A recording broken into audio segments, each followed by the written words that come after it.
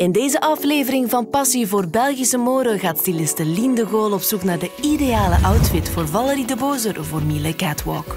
Valerie, we zijn vandaag uitgenodigd bij Johan van de Aven. En jij mag hier een outfit uitkiezen om naar de Miele Catwalk te gaan. Amai, super. Ja. Ja, echt. Ik ben benieuwd. Ja. Johan, jij showt je collectie eh, op de Miele Catwalk. Wat mogen we verwachten voor de herfst en de winter? Wel, de collectie gaat over eenwording van mens en natuur. Daarom heb ik heel veel eh, natuurlijke stoffen gebruikt, zoals uh, zedenchakaars, uh, wol, babyalpaca en ook echt bont. Gaan we eens kijken? Ja, ja, graag. Ja, dat is echt iets voor u, hè, Da? Ja. Mooi leren kleedje.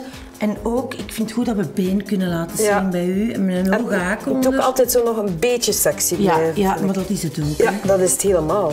Dat is ook Vinden van een dia. Ja, eenvoudig maar mooi. Met die kraag is Ja. Eh, Oeh, dat vind ik een goeie. ja, dat kleur.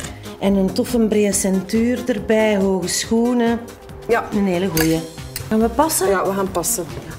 Tof, hè? Ja, Ja. dat vind ik al een goeie. Ja, ik voelde mij goed in. Ja, ja het is ook tof zacht leren. hè. Ja, mooi. Ja. Ja, super. Ik zou zeggen de volgende. Ja. Het is ook een perfect avondkleedje, hè, Valerie? Ja. Ik vind die stof heel schoon. hele chique stof, Ja. ja. En dat pakt het licht. Als daar veel foto's genomen worden, is dat iets dat eruit springt. Vind ik ook wel, wel Mhm. heel tof. En de plooitjes. Ik vind een heel speciaal modelletje en heel schoon stof. Maar ik zou graag de derde nog eens zien. Ja, oké.